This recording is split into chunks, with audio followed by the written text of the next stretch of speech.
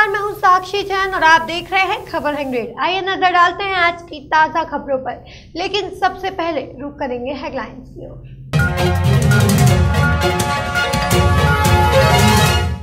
धार के बदनावर में एक शाम देश के नाम का हुआ आयोजन।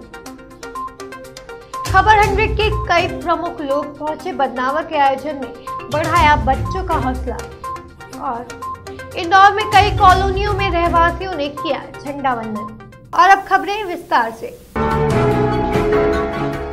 इंदौर में जहाँ सीएम ने झंडा वंदन किया तो वहीं शहर के विभिन्न क्षेत्रों में रहवासी संघ के द्वारा भी झंडा वंदन के आयोजन हुए। इसी कड़ी में शहर के श्री कृष्ण एवेन्यू रहवासी संघ द्वारा लिम्बोदी में गणतंत्र दिवस मनाया गया।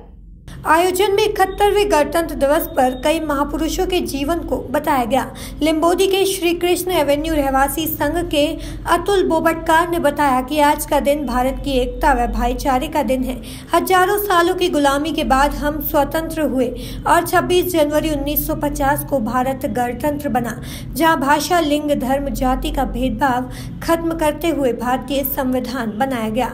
आज संविधान को बचाने की बहुत ज़रूरत है। Shri Krishna avenue phase one phase two phase three Braj Naini Shivdham Ganga Vihar new Ranibagh Ranibagh Saibagh Shri Bihar colony Shri Yantra Nagar Ganesh Bihar सहित खंडवा रोड की कॉलोनियों के गणमान्य लोग उपस्थित दर्ज कराए, तथा राजू शुक्ला ने आभार व्यक्त किया।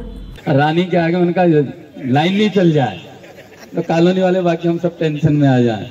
तो हम सब न्यू रानीबाग है। कई दिक्कत नहीं, ऐसे ही न्यू रानीबाग में निवास करते हैं हमारे चरणजीत सलूजा जी मतलब हमारे परिवार के सदस्य हैं।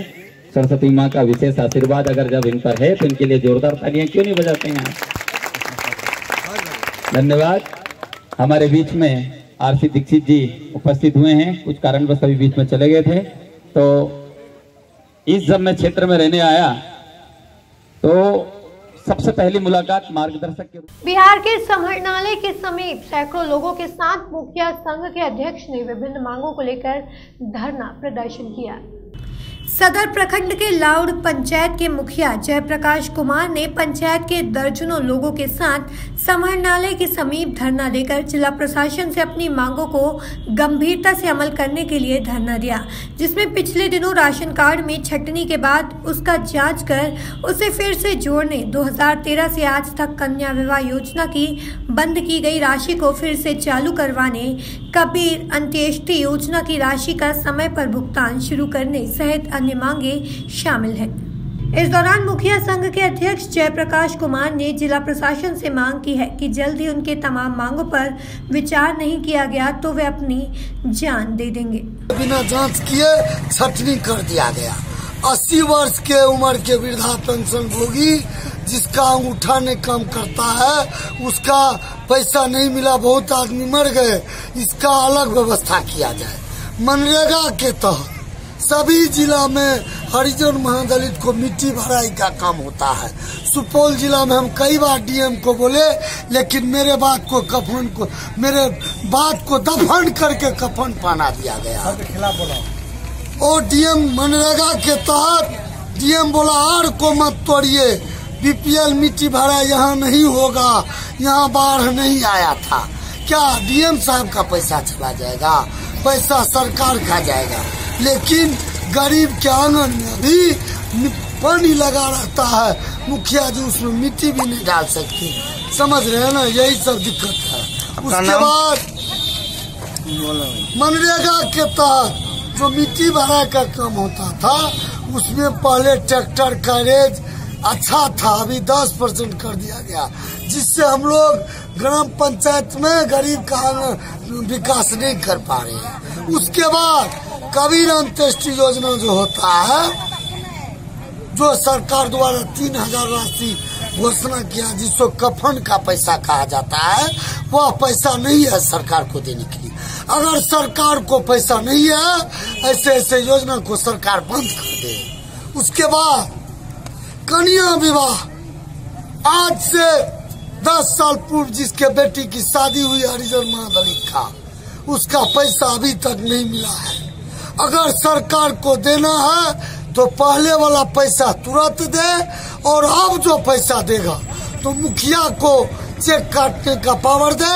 गरीब का बेटी के शादी के दिन ही उसे पैसा मिलना चाहिए।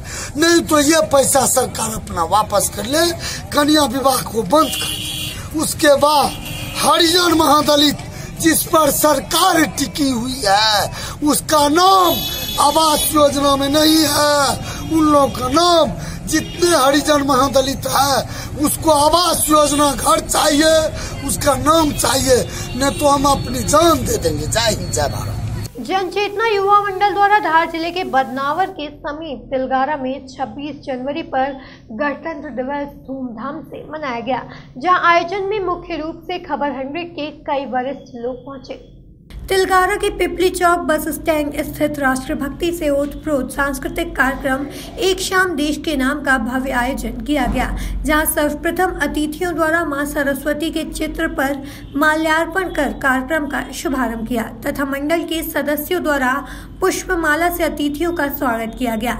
वहीं स्थानीय रचनाकार हर्ष बेकड़ा व दर्शन लोहार ने देशभक्ति कविताएँ सुनाकर सभी का मन मोह लिया।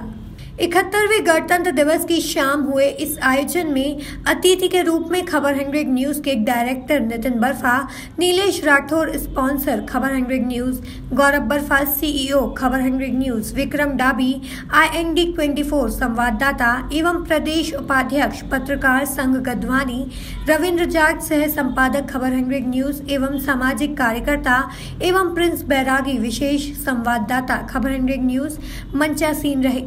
इस दौरान आयोजन में 20 प्रतियोगियों ने भाग लिया। व एक से बढ़कर एक प्रस्तुति दी, जिसमें प्रथम पुरस्कार गणेश ग्रुप, द्वितीय पुरस्कार आईजी स्टार, तृतीय पुरस्कार प्रीति शर्मा व चतुर्थ पुरस्कार चंचल पाटीदार एंड ग्रुप ने प्राप्त किया।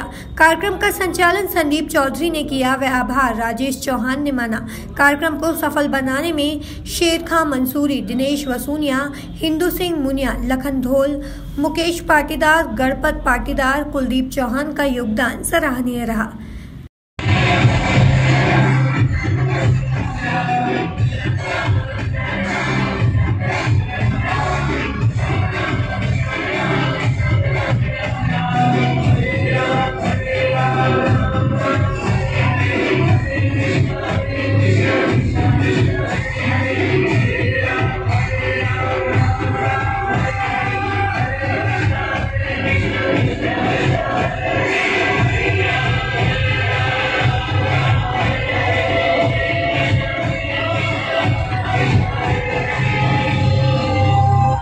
बदनावर से राजेश चौहान की रिपोर्ट। फ़िलहाल इतना ही। तमाम खबरों के लिए बने रहे खबर हंड्रेड के साथ। जनता की बुलंद आवाज़